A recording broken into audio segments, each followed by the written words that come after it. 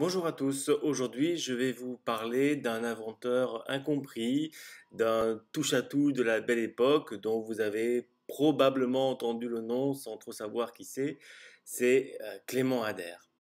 Ader, on le présente souvent comme celui qui a inventé euh, l'avion, une sorte de Léonard de Vinci de la belle époque. Il y a une polémique aussi à son sujet. Les Français disent de lui que c'est le premier homme à avoir volé sur un plus lourd que l'air, hein, pas avoir volé tout court. Hein. Avant lui, il y avait euh, l'aérostation, le vol en ballon, en plus léger que l'air. Mais le premier à avoir volé sur un appareil dont le poids seul suffirait à le clouer au sol.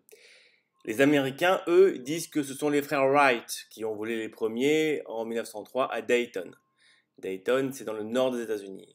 Alors qui dit vrai Qui dit faux? Au fond, la problématique que pose la vie d'Ader, c'est pourquoi est-ce que on a besoin de se forger l'image d'un père de l'aviation? Qu'est-ce qui différencie une simple trouvaille d'une authentique révolution euh, technique? Vous trouverez sous la vidéo les sources euh, historiques euh, sur lesquelles je m'appuie. Je crois que c'est une bonne habitude à prendre de sourcer euh, ces vidéos. Et donc voici le premier volet d'une série de trois consacrée à Clément Ader. Clément Ader, c'est qui? Il naît en 1840 dans une famille un peu aisée à Muret. Muret, c'est en Haute-Garonne, c'est un peu au sud de Toulouse. Son père tient un atelier de menuiserie. Il a aussi hérité d'un moulin en bordure de Garonne.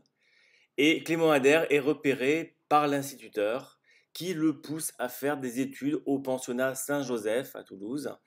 Puis, après son baccalauréat, dans l'institution Assio, on peut rapprocher cet établissement, par exemple, des arts et métiers ou de l'école centrale des manufactures. On dirait aujourd'hui qu'Ader, il fait des études pour devenir ingénieur mais en 1860, ça serait anachronique de le dire comme ça, dans la mesure où ce n'est qu'à partir d'une loi du 10 juillet 1934 qu'on a standardisé ce qu'est une école d'ingénieur et ce qui n'en est pas. Bon alors disons pour simplifier qu'il suit des études de sciences et de technique. Il rentre en 1862 à la Compagnie du Midi. C'est la société privée qui euh, construit et exploite le réseau de chemin de fer de Bordeaux à Sète, ainsi que le canal du Midi l'État n'intervenant que pour le gros œuvre de la ligne. À la tête de cette compagnie, il y a Émile Perrer. Émile Perrer, c'est celui qui a donné son nom au boulevard Perrer à Paris. Clément Ader travaille donc comme conducteur de travaux. Il s'aperçoit que poser des rails, c'est difficile et il va déposer son premier brevet, un système de cric pour stabiliser les rails lors du remblai des voies. C'est pas du tout un grand succès commercial ce premier brevet et en 1867, Clément Ader a 27 ans, et il monte à Paris pour l'exposition universelle.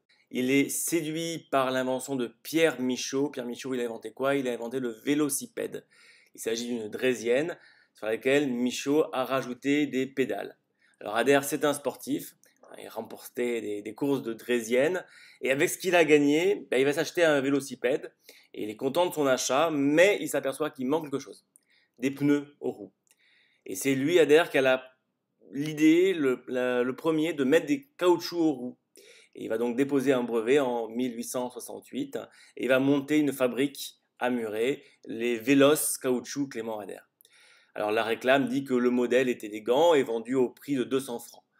Tout va donc bien pour Ader, à fond la forme comme on dirait aujourd'hui, sauf que éclate la guerre de 70 et toute l'économie des vélos s'effondre. Alors ensuite Ader il va inventer la chenille ce qu'il appelait le rail sans fin. Il monte à Paris et euh, il va euh, indiquer qu'il est capable de faire tirer trois wagons par deux chèvres à condition que les roues soient équipées de chenilles. Il fait des essais avec son paternel en guise de cocher au parc des Buttes-Chaumont ou au jardin des Tuileries. Il a un projet de cerf-volant euh, qui pourrait faire s'élever en l'air un observateur afin de pouvoir repérer les positions ennemies durant un conflit. Et il se voit proposer de tester son modèle au polygone de Toulouse. Et le grand photographe de l'époque, Nadar, euh, bah, lui propose également de montrer son planeur à plumes, comme il l'appelait, dans son atelier photographique. Mais malheureusement, Adair ne trouve pas euh, d'investisseur pour le planeur à plumes. Ensuite, Clément Ader va s'intéresser à l'invention de Graham Bell, Graham Bell qui a inventé le téléphone, et il songe à améliorer le dispositif en lui trouvant une application concrète, la transmission d'opéra ou de pièces de théâtre par téléphone, ce qu'il appelle le théâtrophone. Ce qu'invente Adair, c'est tout bonnement la retransmission de spectacles en stéréo. Et un jour, Victor Hugo, il écrivit Nous sommes allés à l'hôtel du ministre des Postes. Nous sommes entrés. C'est très curieux. On se met aux oreilles deux couvre-oreilles qui correspondent avec le mur et on entend la représentation de l'opéra. On change de couvre-oreille et on entend le théâtre français ou Coquelin. On change encore et on entend l'opéra comique. Les enfants étaient charmés, et euh, moi aussi. Adair monte en 1880 la Société Générale des Téléphones et va jusqu'à équiper le président de la République, Jules Grévy, avec l'aide de son ministre des Postes et Télégraphes, Adolphe Colchéry. Il s'associe avec les représentants de Bell en France. En fait, Clément Adair fait fortune avec son théâtrophone. En 10 ans, il va pouvoir acheter un hôtel particulier rue de l'Assomption à Paris, une maison à Muret, le château de Ribonnet qui est réputé pour ses vignobles, et il est reconnu, il devient chevalier de la Légion d'honneur. En fait, Adair, ce qu'il va inventer, on pourrait dire que c'est un peu Netflix avant l'heure, c'est-à-dire qu'il a avec son théâtrophone un réseau où l'abonné peut à la demande se connecter tous les soirs à un théâtre différent sans avoir à se déplacer de son fauteuil. Et cette euh, invention, eh bien, il va en vendre le brevet dans plein de pays, en Angleterre, en Allemagne, en Belgique, en Espagne, en Russie, en Italie, aux États-Unis, etc. Malheureusement, le conseil d'administration de la société des téléphones ne suit pas Adair dans son projet d'équiper également la province de téléphones.